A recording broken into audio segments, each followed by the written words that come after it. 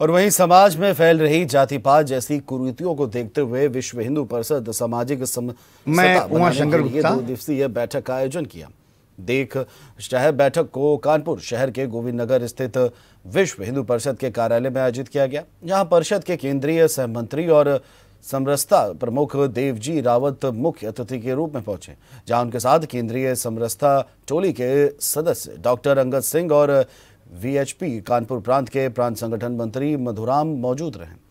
जहाँ देवजी रावत ने प्रेस वार्ता में बताया कि जिस तरह से हिंदू समाज में जात पात ऊंच नीच छुआछूत जैसी कुरीतियाँ तेज़ी से जन्म ले रही हैं, ऐसे में समाज का एक कर पाना बेहद मुश्किल हो चल रहा है।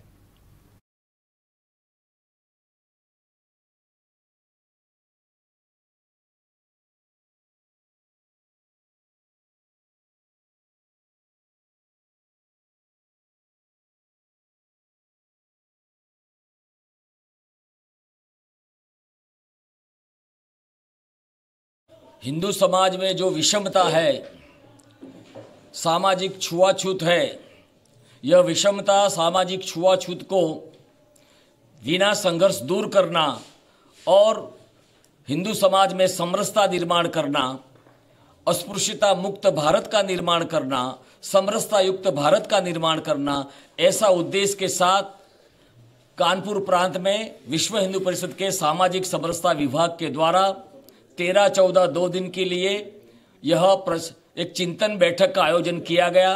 आने वाले समय में उत्तर प्रदेश के प्रत्येक गाँव में सामाजिक समरसता निर्माण करने के कार्य में हम सब लगने वाले हैं।